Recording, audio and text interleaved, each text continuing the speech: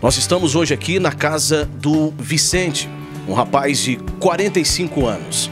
Há um ano e meio atrás, ele descobriu que tinha um problema grave no coração. Só que ele não parou. Ele conseguiu, com certeza, driblar esse problema e levar a vida.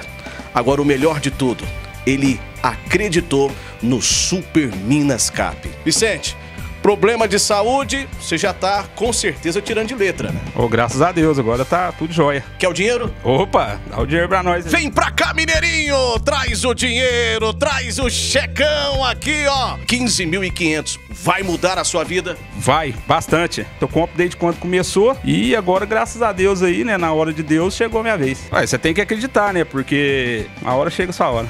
Mais um prêmio, Gisela? Mais um, Valdeir.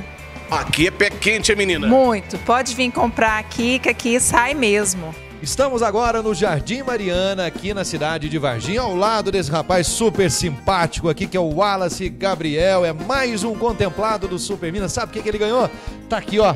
15.500 reais. Dessa vez, então, o Super Minas Cap chegou para você como duas alegrias de uma vez.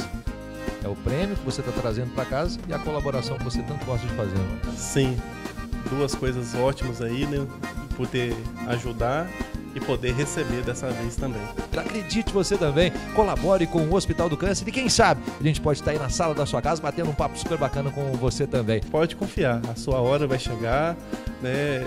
Continue comprando, que Deus sempre abençoe. Se não foi agora, na próxima certamente será. Você também leva uma bela de uma bonificação, né, Rose? Então, menino, levo 500 reais. Chegando o Natal aí, né? Pra mim é como um décimo terceiro meu que tá entrando. Vale muito a pena vender o Super Menos e contribuir com a oncologia.